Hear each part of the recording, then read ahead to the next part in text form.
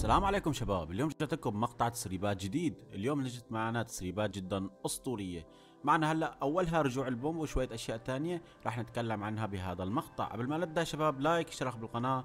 آه إذا حبيتوا تدعمونا بشكل مادي code ال item shop A K double O ويلا خلونا نبدأ على طول. طبعا راح نحكي هلأ عن أهم شغلة واللي هي رجوع ال pump هلأ طبعا حتيجي معنا بيوم الثلاثاء بالتحديث القادم. كثير مؤكد إنه راح يرجع معنا ال pump طيب شو السبب وليش فجأة طلع إنه ال pump راح يرجع في هذا اليوم؟ مثل ما بتعرفوا إنه آه، في طور آه، حطيت لكم إياها بال story بالإنستغرام. طبعا اللي مهتم بالإنستغرام رابط الإنستغرام بالوصف يتابعني عليه بنزل ستوريات بشكل يومي. إيه المهم إنه في طور اسمه ال late arena أو طور هذا ال arena آه، كلكم تتذكروا إنه كان في ال pump والأشياء هي فاحتمال إنه رجوع ال pump محصور على هذا الطور فقط. ممكن يرجع معنا ال pump بهذا الطور. وممكن يرجعوه بشكل كامل بكل الأطوار. وهذا اللي أنا بفضله. ما بحبه إنه يرجع بطور معين لأنه هذا السلاح أنا من أفضل الأسلحة اللي كنت بعرف ألعب فيها في اللعبة. فإني أشوفهم انه يحذفوه كل شوي ويحذفوه كل شوي. ابدا حركة ما لها داعي. المفروض يكون هذا ال shotgun shotgun أساسي في اللعبة. ولا اذا عندكم اعتراض ثاني يا ريت تكتبوا لنا رأيكم آه، بالتعليقات. والمهم هلا ننتقل لبقية الأخبار الثانية عنا مثل ما انكم شايفين الاشتراك الشهري اتسرب مثل ما انكم شايفين هي أغراضه. آه، صراحة اشتراك شهري جدا أسطوري. أكيد يعني إذا حبيت تشتروه بكودي AK double O الله يسعدكم. وفي تسريب معنا بالتحديث القادم. بتعرفوا الأبطال ال Titans؟ في هي الشخصية اللي نزل اللي بتكون مع Raven اللي نزلت معنا بال battle pass الساد